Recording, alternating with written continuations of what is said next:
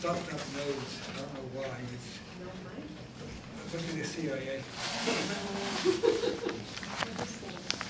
Most of you, I'm sure, have met people who support U.S. foreign policy, with whom you argued and argued. You point out one horror after another, from the, all the bombings and the invasions, and the torture, and, and from, from Vietnam to Iraq, but nothing helps, nothing changes this person's mind. Uh, now, why is that? Are these people just stupid? Uh, I think a better answer is that they have certain basic beliefs, certain uh, basic preconceptions, and if you, if you don't deal with those basic beliefs, you will not get anywhere with them. It's like talking to a stone wall. And what are, the, what, what are these basic beliefs? The most basic of them is a deeply held conviction that no matter what the U.S. government does ab abroad, no matter how bad it may look, no matter what horror may result, our government means well. Its intentions are honorable, even noble. The, the great majority of Americans hold these beliefs very tightly. They, they just believe that we mean well. Frances Fitzgerald, in her classic study of education in the U.S., a high school education, wrote in summary, quote, the, the United States has been a kind of self, this is what people believe from their studies in our high school.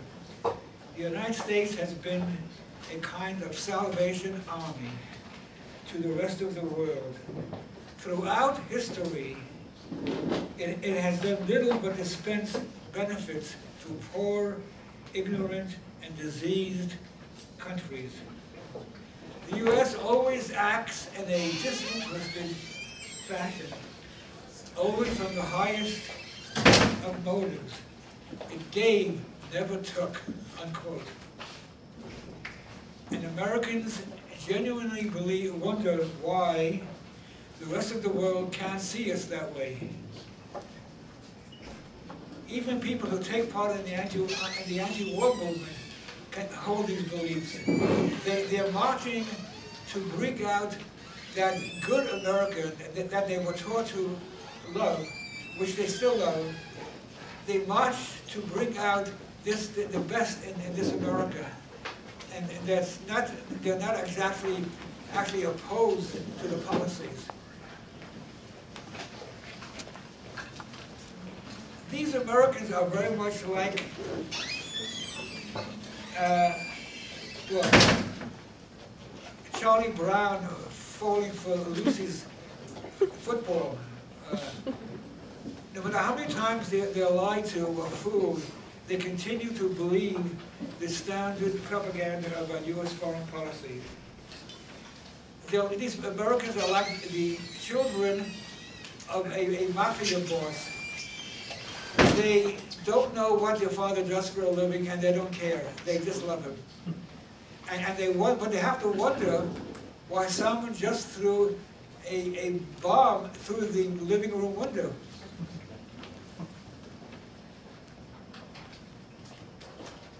This, this basic belief in America's goodness is very sim similar to what we're taught about American exceptionalism. Let's just look at how exceptional our, our foreign policy has been. Since the end of World War II, the U.S. has, has, one, attempted to overthrow more than 50 foreign governments, most of which were democratically elected. Two, dropped bombs on the people of more than 30 nations. Three, attempted to assassinate more than 50 foreign leaders.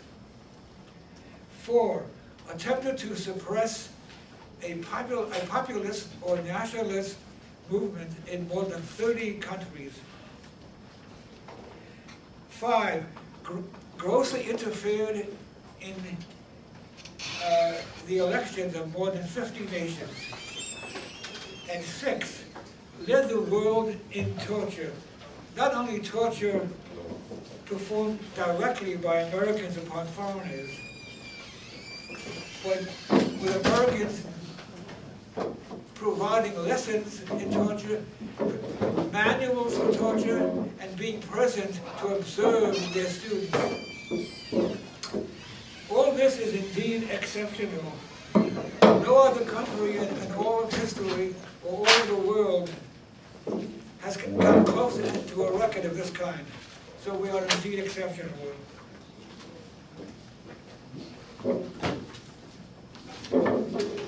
So the next time you're up against a stone, a stone wall, and the person, uh, ask that person what the U.S. would have to do to lose his support. Ask him what for him would be too, much. Keep in mind that our homeland our precious homeland, above all, seeks to dominate the world for economic reasons, ideological reasons, nationalist reasons, Christian reasons, and for the personal advancement of a whole slew of executives and officials whose careers are based on one war after another. And these people are not necessarily bad people. They're, they're like the sociopath who doesn't care one way or the other, or the other. It's not the behavior of a decent, normal human being, is it? No. Take the Middle East and South Asia. The people in those areas have suffered horribly because of Islamic fundamentalism. What they need desperately is a, a secular government which will honor and respect all religions. But do you know that from, from the, from the mid-1970s 1970s and through the 1990s, there were a number of such secular governments in, in those areas. And what happened to these governments? The U.S. government overthrew them all. First came Afghanistan, uh, which from, from the mid-70s until the, the, late 80s had a, a secular government where women had full rights, believe it or not. In, in, the, the, women of World war miniskirts. Imagine that in, in Afghanistan, women in miniskirts. This government was overthrown by the, by the U.S., and which gave rise to the Taliban. So keep that in mind the next time you hear an American official say, we have to remain in Afghanistan for the sake of the women. After Afghanistan came Iraq, another secular society under Saddam Hussein. And the U.S. overthrew that government as well. And now the country is run by crazed and fanatical jihadists. And any woman not covered outside runs a serious risk. Next came Libya. Again, a secular country, nation under Muammar Gaddafi, who, like Saddam Hussein, had a, a tyrant side to himself, but he also had a, a, believe it or not, a rather benevolent side. Under, under Gaddafi, Libya had the highest standard of living in all of, of Africa. And he also was, was a champion of African rights. He helped to form the African Union. So he was not all totally the bad guy that we're taught now. But he, he, he dared to uh, not become a client state of the U.S. and he was overthrown. He offered his people free free education and free health care too, by the way. Uh, in 2011, the U.S., with the help of NATO, bombed Libya every day for six months. until the, whole thing collapsed, and Libya then also became a failed state full of crazy jihadists. So, so after Libya came Syria.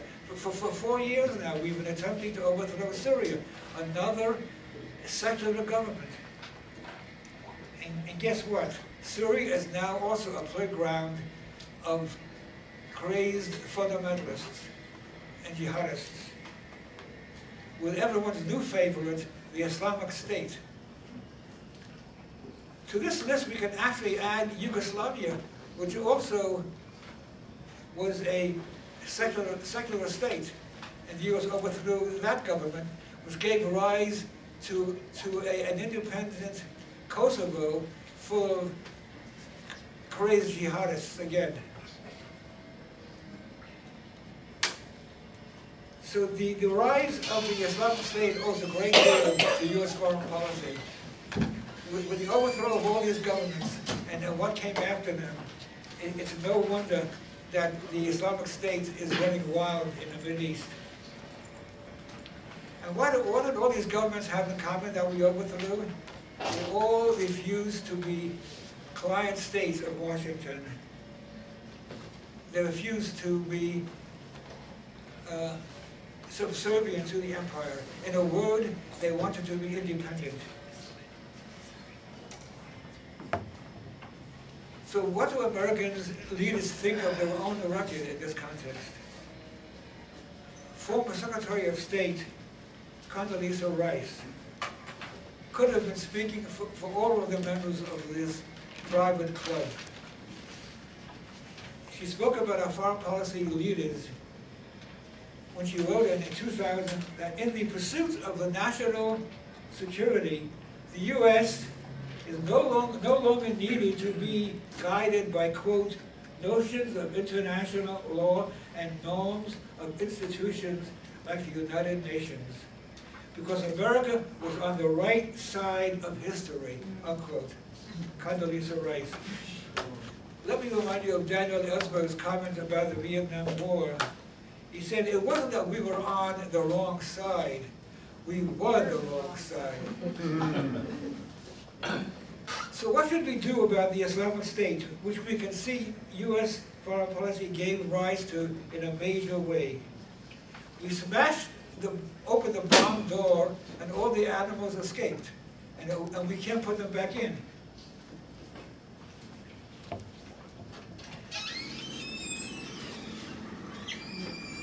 Um,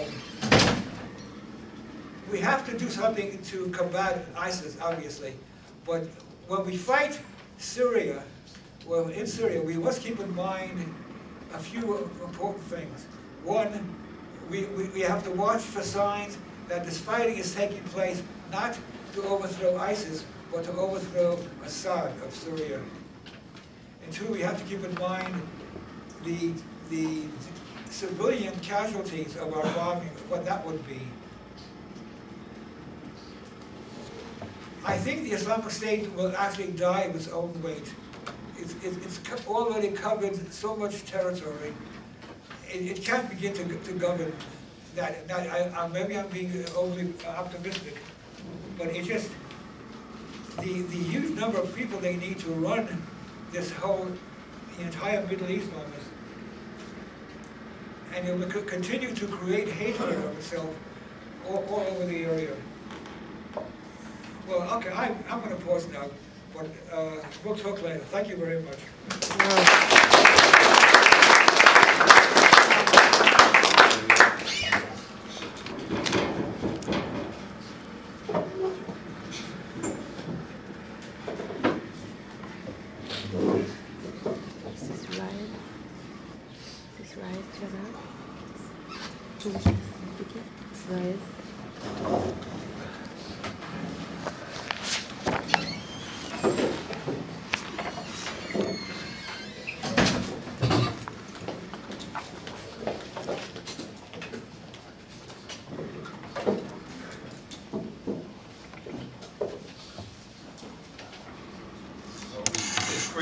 here, and uh, I really appreciated William Blum's comments. So I'm sure appreciate and learn from David Swanson. There's a lot in what he said that's very important that I will be agreeing with and building on, and you will note some divergence as well, which is a healthy part of why we're here. I'm a correspondent for Revolution newspaper, the voice of the Revolutionary Communist Party, and I'm speaking to our question today from the perspective of the need and the basis for a revolution that will bring about a world without any oppression, without any exploitation of women, of minorities, of people who society deems different, and so on. But instead of societies where might makes right, which dominate and rule the world today, societies where humanity is consciously and voluntarily transforming itself in the world. If you're not familiar with revcom.us or Revolution newspaper, I'll apply the picture worth a thousand words method for a very quick introduction. And you will find posters like these as part of what we produce at RevCom. These get shipped by the hundreds into America's prisons, read by dissident intellectuals around the world, and are part of our contribution to the world revolution. So we'll leave that up for a moment. But now I'll go back to my presentation. Uh, in this light, I'd like to make what I think is a friendly amendment to our topic today. U.S. wars of aggression and Islamic jihad, which is the greater danger, and I would like to add to humanity. Because I think a, a big part of the problem that William was identifying is that far too many people in this country, and this affects the movements for social change as well, think as Americans. I remember it having a very profound effect on me as a teenager when I heard Malcolm X say, I'm not an American and got sense enough to know it. I'm one of the 20 million African American victims of America. And I said to myself, I need to find out more about this guy. This, he's onto something. Even as at the time, I found that rather provocative. To say the least. So I think it's an important starting point as we address this question of how to oppose the crimes of our government at a time when it is in conflict with reactionary jihadist forces. I think it's important that we start from the moral standpoint and the fact that American lives are not more important than other people's lives. And I think William made a convincing case that American exceptionalism is essentially what he said, an exceptional record of wars, torture chambers, tyrants, and oppression. Let me take an example uh, that I want to point to. We cannot accept or allow the terms of debate about what the U.S. did to the people of Iraq to be whether or not that was a dumb war or whether or not that war wasn't in the interests of the United States. That isn't what that war was about, and that's not how it should be judged. As William was pointing to, this was not a war to bring the Salvation Army to Iraq or bring any kind of liberation to Iraq. This was a war based on an assessment by, at that point, the defining elements of the U.S. ruling class that they had a moment after 9-11 to tear up the whole Middle East and restructure it in a way that would facilitate their global economic and political and military domination. Now, in many ways, that invasion did end up backfiring on them. But that's not why it was wrong. It was wrong because it brought indescribable misery to the people of that region. William was talking about this you know, in some of the research I've done for articles about Syria, for instance, uh, for coverage at revcom.us, there are hundreds of thousands of Syrians driven from their homes. That country has been torn up from top to bottom, and the United States bears the responsibility for that.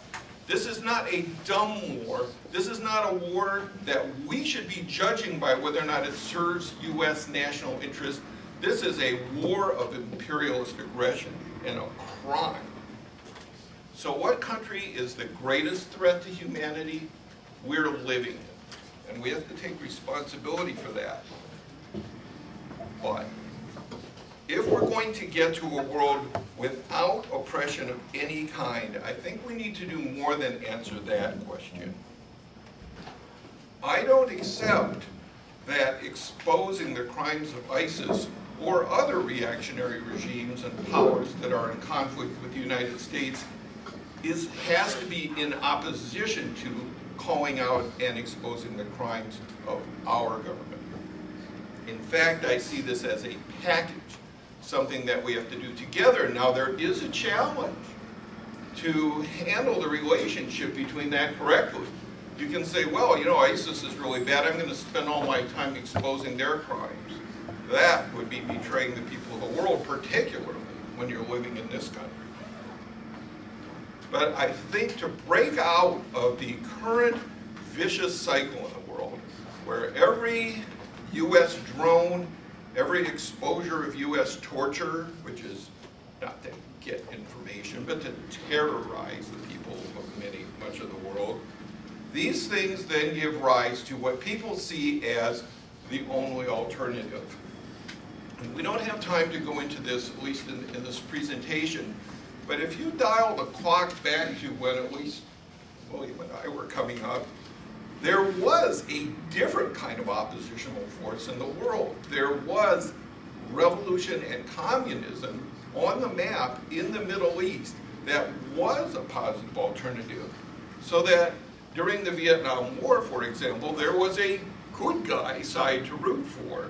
And not only was Daniel Ellsberg correct that the enemy was us, but the solution was, and many of us came to identify with and support the Vietnamese revolutionaries, the revolution in China, and so on. Now, since those revolutions were turned around, that alternative has been both physically off the map and ideologically taken a beating. We have been told for decades now that that is not a possibility that capitalism is the best the world can do.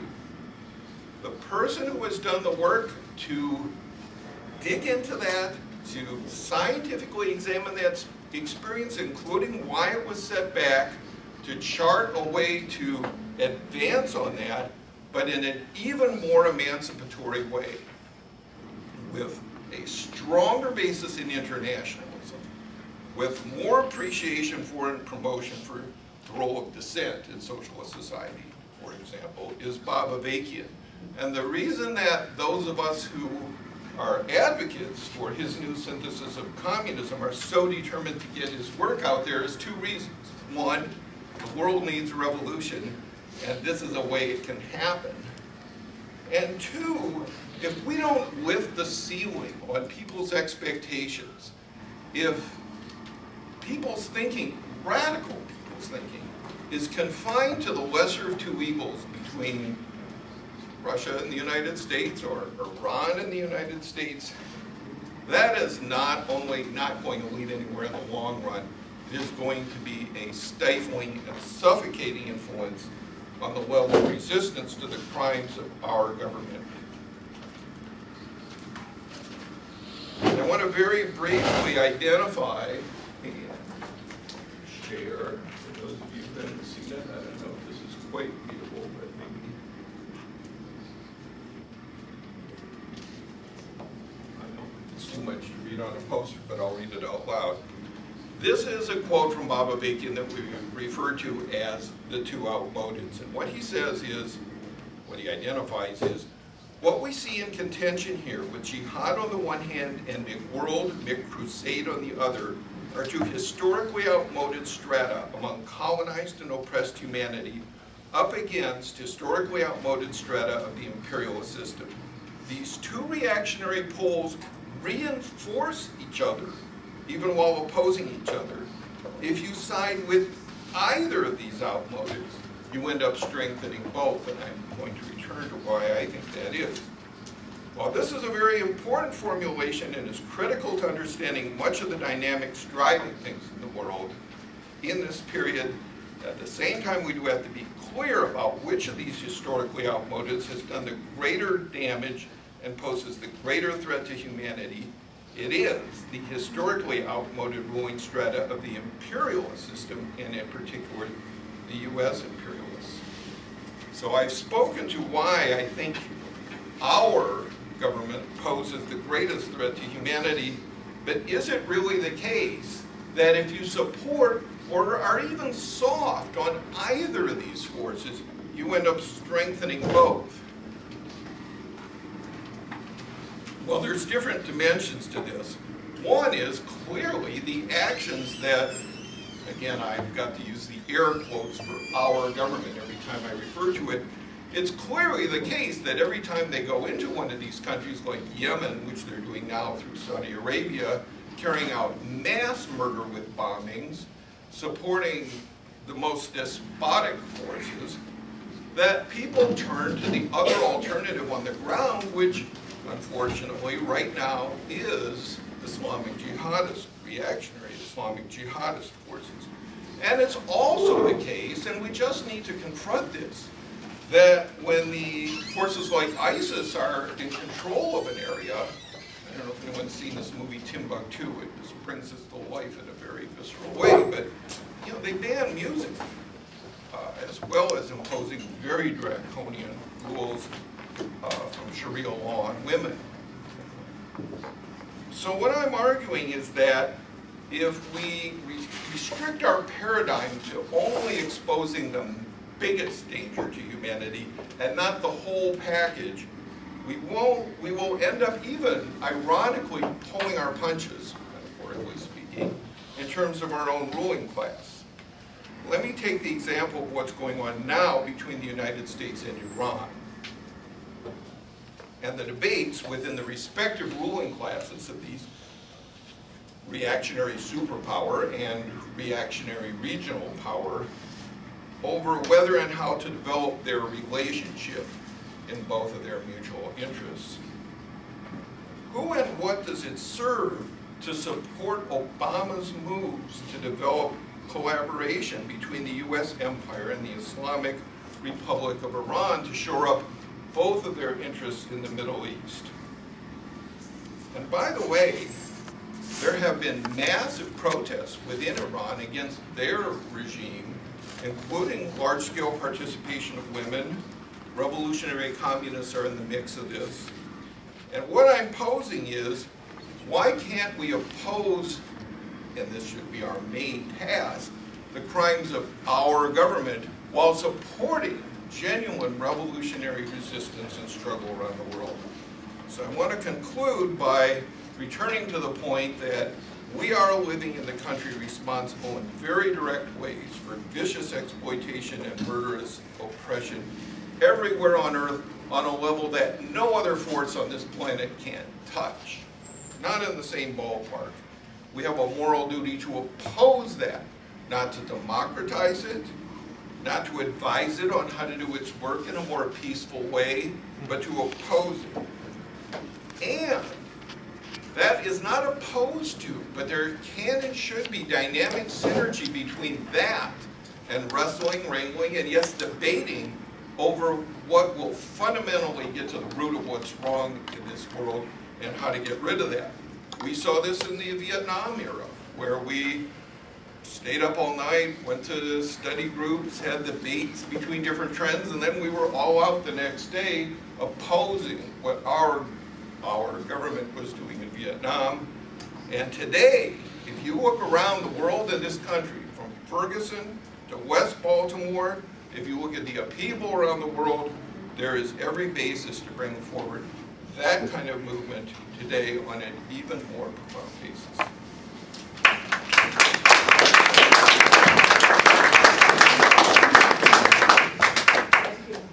Again, we will have questions and conversation as soon as our third speaker, David Swanson, is finished.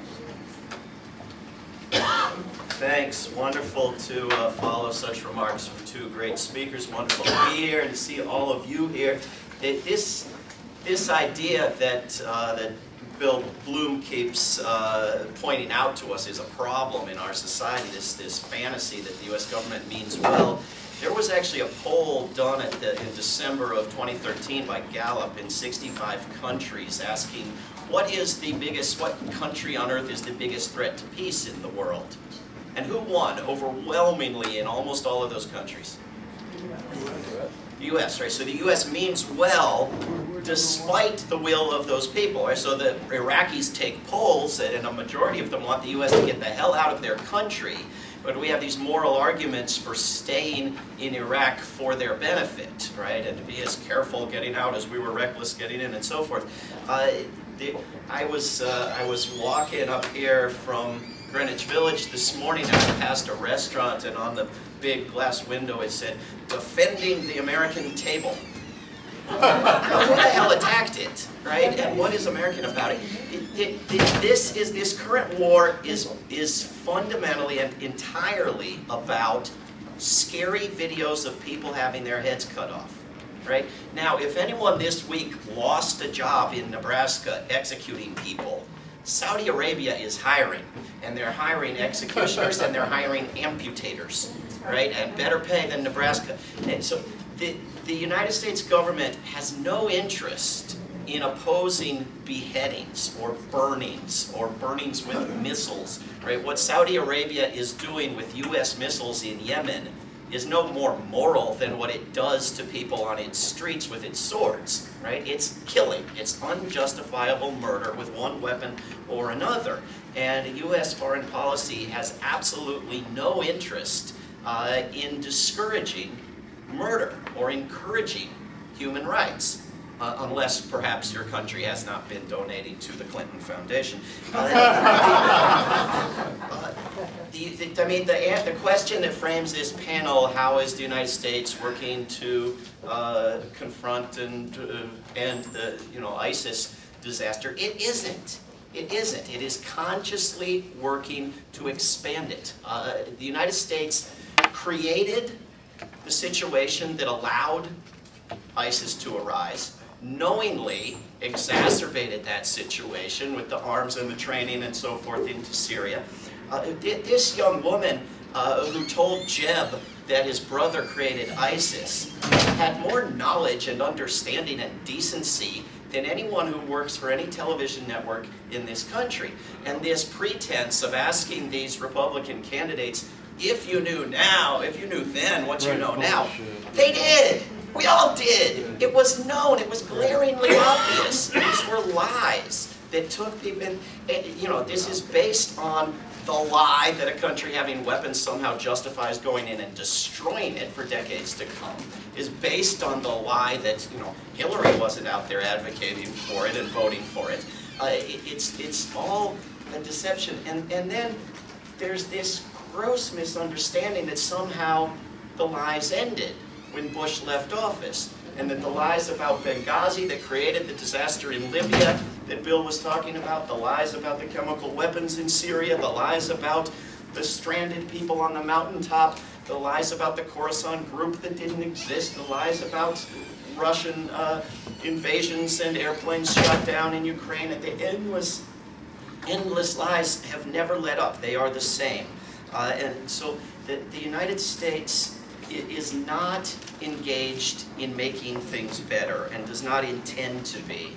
Uh, it is fueling resentment. And its attacks, uh, which are killing civilians by the hundreds directly with bombs uh, in Iraq and Syria, are, are, are the biggest recruitment tool. And were known to be and desired as the biggest recruitment tool, outdoing the torture in Abu Ghraib and so forth now, for anti-U.S. activism and militarism. And in 2013, when they wanted to send missiles into Syria, which Seymour Hersh exposed as a massive bombing campaign, not a couple of missiles here, And both political parties wanted it, and the, the media wanted it, every television network wanted it. Wall Street had Raytheon stock at record heights. Everyone knew it was about to happen. And Obama said, you must look at these videos of children dying and be in favor of them dying or in favor of me bombing Syria and killing more of them. Those are your two options. And we stopped that. And we stopped it with help from the past decade of peace activism that had Congress members running around saying, I don't want to be seen as the jerk who voted for another Iraq. I'm af afraid to back this thing. They're so afraid to back wars now that they just let them happen Right. with no vote yes or no. Yeah. Operation Inherent Resolve, and they don't have the inherent decency to even take a position on it. Uh, and we stopped it. But what happened when we stopped it? And, and the British stopped it, and the world stopped it, and people within the US government stopped it they kept the weapons flowing and the CIA trainers flowing and waited for a better propaganda moment to get their war that they wanted. They didn't do what needed to be done. And what needed to be done was a radical change in US policy from war to peace. If you, if you did that prison experiment with students where you make some of them the jailers and some of them the prisoners and waited for disaster to happen, but whenever the students were Muslim, you gave them automatic weapons. And then you came to the conclusion that Muslims are more violent. This would make as much sense as U.S. foreign policy when 80 to 90% of the weapons in the Middle East are made in the United States. You are arming a region of the globe and then creating chaos, creating desperation, fueling violence and anarchy, and then wondering why people are dying. So what do you do first? You stop making it worse. You, I mean, you, you declare an arms embargo, you demand ceasefires, and the arms embargo is three quarters of the way successful just by the United States alone. Right? And if you can get these Sunni dictators and kings to join you in attacking Sunnis, you can get them to stop arming these people with weapons, which after all are coming from the United States in the first place in huge quantities. So you, you start a policy of disarmament. The, the weapons of mass destruction free Middle East was killed at the United Nations last week by the United States on behalf of Israel, right? That is not the policy of a government that's worried about decreasing violence in the Middle East. Uh, you send in actual aid for the amount of money that the United States spends on militarism, right? Just go back. Bernie Sanders was recently asked, I, I accused of once advocating a 50% cut in U.S. military spending, and of course swore he had never said any such commie pinko nonsense. His answer should have been, my God, that would just get us back to 2001 levels, right? And if you got back to 2001 levels and you had two or three hundred billion dollars and you didn't know what to do with it, tens of billions would end starvation and hunger worldwide, would end unclean drinking water worldwide. You, you, you 23 billion is U.S. foreign aid. Double it, triple it, quadruple it, put it into use. Put, uh, you know, even Sanders says 70 billion would make education free in this country through college, like other countries do that don't bomb everywhere. Uh, you could, you could have trains in New York City that get you someplace the same day you get on them. You could have high-speed rail, you could have solar, you could have wind, you could have, you- you could have a different world. You could save the physical planet uh, with a fraction of what's spent on making it worse through militarism. So that the idea of world beyond war uh, and of this book that we've produced that I have two copies left for sale because we had a panel a minute ago, uh, it is to create structures of nonviolence, of peace, uh, legal, economic, social structures that don't, like the United States is unique in doing in the world, look at a problem and say, how can we make it worse with bombing or should we do nothing, as if those are the two choices, right? Because every single war thus far has made things worse and we keep thinking the next one's gonna be the one that gets lucky. Militarism makes us less safe. There is not an upside. Uh, go to warisacrime.org slash less safe and read all the just retired generals and top officials and directors of national intelligence who admit that everything they're doing is counterproductive, who are knowingly making us less safe, not more safe. It is our number one destroyer of the environment, the, the creation of the weapons, the testing and their use. The, it, is the number one eroder of our civil liberties, even when the wars are for freedom. We, we lose our freedoms. It, it militarizes our police forces. It erodes our economy. It impoverishes us. It does not enrich us. It does not create jobs. It, it destroys our morality. It makes murder acceptable in ways that so many other things are just beyond the pale. And it kills more people by how the money is not spent than by how it is. You could save so many lives which what, with what is dumped into to militarism. So there never was, in Vietnam or anywhere else, a good side to cheer for in a war. There never will be. Non-violent approaches to tyranny and oppression are much more likely to succeed, and those successes, on average, last over twice as long. So it, the, the, the resort, when push comes to shove, needs to be to the strongest weapons we have, and they are not weapons of violence.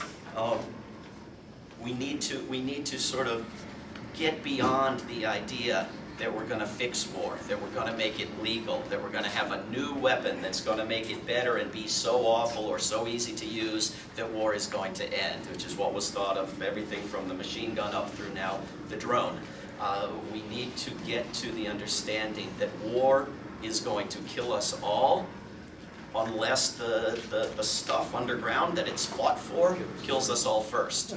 Uh, and if we're going to have the resources to address the real dangers that actually threaten us, that should have us running scared like idiots rather than, you know, the, the, the beheader videos, we're going to need the resources that are now being wasted uh, on warfare. We, we, have, we have to make that switch from. We have this endless debate in this country around 45% of, of federal spending that's not war. And liberals want more of it, and Conservatives want less of it, and both are in absolute agreement on pretending that the other 55% uh, of the spending that Congress decides on doesn't exist and shouldn't be mentioned.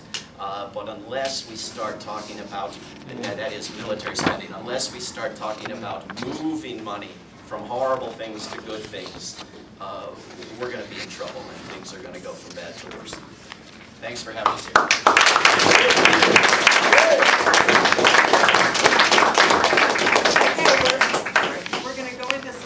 conversation both between the panelists and with all of you. I just want to set the stage for a moment. We did an earlier iteration of this panel that was really um, very interesting and successful, right on the eve of the 20th anniversary of the U.S. Um, shock and awe invasion of Iraq in March. And here's why we needed to get into these questions. Ten years ago, on the second anniversary of the U.S. invasion of Iraq, for instance, we were still having huge protests under the Bush years. Obama comes in, the war's over, the war's over, and yet the targeted killings and the drone wars and the wars of intervention have spread all over the Middle East. It's actually more extensive under Obama.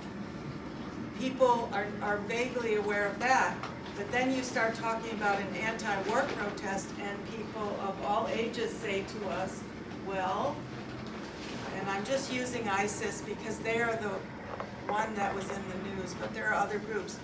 We have to do something about ISIS, is what comes back to you. U.S. troops, U.S. forces, drones, all of this need to be in the Middle East to hold control. And I, I guess all of our speakers have spoken to this in different ways, but it is such an essential question to wrangle with um, among students of all ages, among people who should know, among people who lived through Vietnam, who have lived through every other U.S. intervention in the last 60 years. There's no right on the side of the U.S., and yet it's complicated. So I think we should let it rip. I know people have comments, thinking. Uh, I'd like to see a show of hands of who wants to talk, and we'll put together an order. Okay, so I've got four to start with. We'll go across the room, red shirt. Okay, I have a comment, it isn't really a question. I have a daughter that graduated from Fordham Lincoln Center, it's only a couple blocks from here. And her third year there, she married a Muslim guy, super guy. Um, They went on to have two children, eight years old and four years old, who I love dearly. but I don't let them call me grandpa. They call me Jadu. And they're my Hafidas, which is grandfather and granddaughter. And I'll be out there in five days, five days in Alaska. My daughter gave up her chance for corporate law. She graduated in the top ten percent of her class at Fordham and law school. And she gave that up and is a public defender out there. And today you see that more and more where young people follow their conscience. And I hope that's a, a, a trend that continues. Thank you. That's all. Right, the woman right, we had someone right here, and is that you? Yeah, thank you. Um, I have a question for uh, Bill. Uh, I'm actually halfway through a book called National Security and Double Government by Michael Glennon, who talks about uh, this whole network, which is called the National Security State, which is uh, apparently not subject to judicial, executive, or uh, legislative constraints, and which is really just sort of a, a it looks like a growing mechanism that that makes well it's it's not a shadow because it's actually quite public it's just that most of us don't realize how much decision making on that level of military apparatus and decisions about uh, things that Obama couldn't stop, for instance, even torture and so on, that so many of those decisions are being influenced by this other apparatus, which is called the national security state. So I just wondered what you think of that. It, he makes a very compelling case.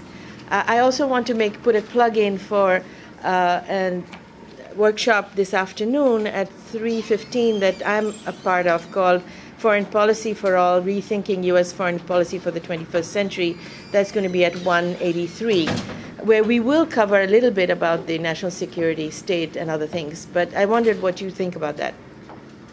Well, I think what our executives of government and the corporation do openly and knowingly, or at least it's been it's reported on a, a regular basis, that stuff is so bad that we don't even need the, the secret stuff, which you were talking about, to make it to make it something evil. Uh, I'm not saying we shouldn't be aware of the other stuff and, fight against it, but we don't need that to have an enemy the enemy is, is very much in the open. Just take what our senators and congressmen say openly and what they vote for openly and the wars they, they push openly. That's all bad enough. So I'm, I'm, I'm more concerned about that aspect of it than I am about any shadow government or whatever you want to call it. Well, I wouldn't mind speaking to the first question. Um, I, I, I have heard countless stories about how, how the trend is the exact opposite. That is that young people are getting out of school so burdened by debt, tens of thousands of dollars in debt, that they are so constrained in their choices that they aren't able to do what they think will make the world a better place. They have to do what they think will, will pay their bills to the bank. Uh, and uh, and, and, while at the same, and I, and I have no idea, based on those anecdotes or yours, uh, I would love to see an, a serious study of whether young people are more, which would be wonderful, or less, which would be disastrous, going by their conscience and doing good rather than uh, being herded into what their televisions have taught them to and their debts constrain them to. Um, because uh, there are there, there is $1.3 trillion now in total accumulated uh, student debt, which is annual military spending by the United States, $1.3 trillion. And so when people tell me that there's no way, there's no possible way to explain to young people that militarism affects them because there isn't a draft. We must have a draft if you're ever going to explain to young people that I, I, I don't know. I mean, if you're a young person and you're too dumb to grasp the connection between $1.3 trillion every year into militarism and $1.3 trillion is the total accumulated disaster of student debt for everyone over past decades, uh, then, you know, I, I, mean, it's a problem with elementary school then at that point. Uh, briefly. Okay, uh, personally, okay, I have a daughter in Alaska that's a public defender. She's actually has an intern now, or her agency does, where this girl graduated from Harvard. And to the chagrin of her parents, she has chosen the path of being, becoming a public defender. Last year, she had a big case, and her co-counsel graduated from Columbia University. And, and I don't know exactly what her situation was at home, but those are two people that have graduated Ivy League schools and have chosen a path of being a public defender, as well as my daughter who graduated from Fordham. That to me is not a trend maybe. I don't see it down in Ocean County. I live in Ocean County, New Jersey, and I agree, there's a big lapse in, in like young people being involved. But when I come up here and when I talk to my daughter, I see a trend of young people saying, I'm gonna follow my conscience. And to me, it's, it's heartwarming. Absolutely is. So, yeah. Yeah, Yeah. Well, well, um, Whoever you want to do it. go ahead. Well, I just think that, you know, I would not put, you know, peaceful U.S. aid in a different category than the main way the U.S. enforces its interests around the world uh, through violence. For example, U.S. food aid, and I feel like I'm putting everything I'm saying about the United States in air quotes because it's not fundamentally aid. U.S. food aid has ruined the economies of countless, and the agricultural base of countless third world countries. Dumping U.S. agribusiness products, wiping indigenous agriculture out of business. I mean, I was stunned, you know, among other things in Egypt, that, you know, everyone's just eating stuff made with American wheat. This is a country that can grow food, but their economy's been warped into growing cotton. Similarly, another eye-opener for me when I was in Egypt as part of the Scouts of Freedom March was how insidious U.S. the oper operation, how insidiously U.S. imperialism operates through NGOs, including meeting many NGO activists who got into their work, you know, setting up schools for women and so on from very good motives, as I think many of this generation do have, but they got warped into things where, for example, when it was time for Sisi in Egypt to pull his coup, which we're learning more and more was orchestrated by the United States, these NGOs and these movements that have been, you know, this is part of the State Department's, I think they call it soft you know, they, they have their military intervention and they have their ideological work, they have their economic domination, and it is a package that, from my perspective, needs to be opposed in total. Well, I'm sorry if I somehow gave an impression I disagreed with that, um, but it's interesting that I was on a panel very recently with the head of Ron Paul's Libertarian Peace Institute, uh, who gave me a very similar uh, speaking to to what I've just heard from the communist side. There is a there is apparently some overlap because the libertarian told me the United States should not give good, useful aid that people want and can benefit from because the aid that it currently gives is as just described. Uh, and now maybe the communist position is the U.S. should not give people good, useful aid they can actually use because it would be coming from the U.S. Uh, so there may be a joining of forces there. But my position is that the United States should radically halt just about everything it is doing and begin a different, respectful, democratic, and actually useful and actually humanitarian approach to the world. And maybe the communist position would be, in order for that dream to happen, you need a revolution. Just throwing it out. Well, I agree with Go that ahead. one too. Um,